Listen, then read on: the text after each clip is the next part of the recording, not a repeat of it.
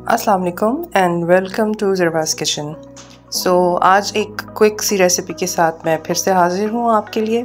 आज हम बनाएँगे कद्दू का रायता, जिसको आप बिरयानी, पुलाव के साथ तो इस्तेमाल कर ही सकते हैं। और जब कुछ पकाने को दिल ना कर रहा हो तो जस्ट ये रायता बनाइए और रोटी के साथ इंजॉय करेंगे तब भी बहुत मज़े का लगता है। अगेन इसमें भी आप अपने हिसाब से इंग्रेडिएंट्स एडजस्ट कर सकते हैं, जितनी क्वांटिटी आप बना रहे हैं। मैंने फ़िलहाल इसमें दो कद्दू के स्लाइस लिए हैं। इनको पील ऑफ़ करके ग्रेट करेंगे हम। इसके आप छिलका उतार लें और जो अंदर से बीज वाली जगह होती है उसको भी थोड़ा साफ़ करके इस तरह से इनको ग्रेट कर लें। इसको आप पानी में बॉईल कर लें। और बॉईल इतनी देर तक करना है कि ये सॉफ्ट हो जाए। आप इसको चेक करते रहिएगा। जब ये इस तरह से आप इनको पकड़ें और ये बिल्कुल मैश हो जाए आपके हाथ में इस तरह से। तो इतना ही हमने इनको बॉईल करना है। इसका आप एक्सेस वाटर ड्रेन करके इसको जो है स्टेन कर लें।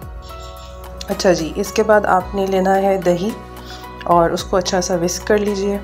अच्छा इसमें ऑप्शनल है, आप अगर थोड़ा सा दही में दूध डाल लें तो वो दही की जो खटास होती है, वो ख़त्म हो जाती है।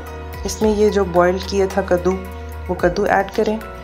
और इसके बाद इसमें पुदीना भी आप इसमें डालें। धनिया ग्रीन चिली कटी हुई आप इसमें डालें भुना हुआ ज़ीरा इसमें आप ऐड करें काला नमक इसमें आप डाल लें इसके अलावा काली मिर्च और थोड़ा सा नॉर्मल सॉल्ट पिंक सॉल्ट ले लें या नॉर्मल सॉल्ट ले लें दैट्स ऑप्शनल ये डालकर मिक्स करें इसको।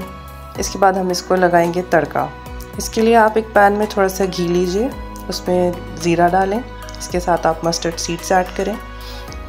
रेड चिली डालिए और हींग थोड़ी सी डाल के और साथ में फ्रेश करी लीव्स कड़ी पत्ता।